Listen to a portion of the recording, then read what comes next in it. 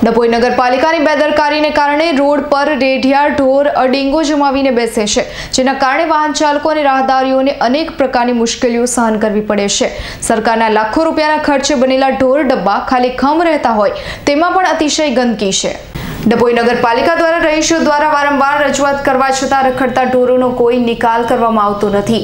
દર વર્ષે શાંતિ સમિતિની મીટિંગમાં ગણપતિ કે મોહરમ જેવા તહેવારોમાં જૂનો ઠરાવ કરવામાં આવે છે. પણ બેઉ તહેવારો આવી રહ્યા છે, પણ કોરોનાની મહામારીના કારણે આ તહેવારોમાં આ સમયે રખડતા ઢોરોનો નગરપાલિકા વહેલી એવી નગરજનોની માંગ ઉઠી છે. વહીવટી તંત્રનો નિકાલ લાવી લોકોની માંગ ઉઠવા પામી છે. જાણવા મળતી વિગત અનુસાર ડભોઈ નગરપાલિકા દ્વારા શહેરમાં રોડ પરના કચરાની સાફ સફાઈ ન થતી હોવાથી જાહેર રોડ પર રેડિયા ઢોર આવો કચરો ખાવા માટે વેર વિખેર કરતા હોય છે અને રોડ રસ્તાથી પસાર થતા રાહદારીઓ અને વાહન ચાલકોને ભારે પરેશાન કરતા હોય છે.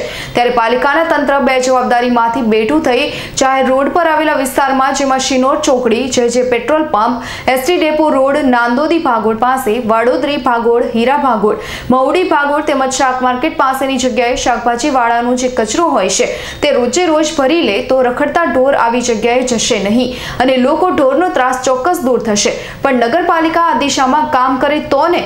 લાખો રૂપિયાના ખર્ચે બનેલા ઢોર ડબ્બા ઢોર ડબ્બા ઘણા વર્ષોથી ખાલીખમ છે, જેમાં અતિશય ગંદકી અને જાડી ઝાખરા ઊંઘી નીકળ્યા છે.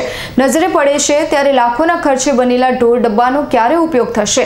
અંધેર વહીવટને લઈને દર્ભાવતી નગરી બનાવવાનું સ્વપ્નનું ધારાસભ્ય શૈલેષભાઈ મહેતાનું સાકાર થશે કે કેમ? તેવું ડભોઈના નગરજીવીઓ, વૃદ્ધિજીવીઓમાં ચર્ચાઈ રહ્યું છે. હિતેશ જોશીનો રિપોર્ટ ડભોઈ.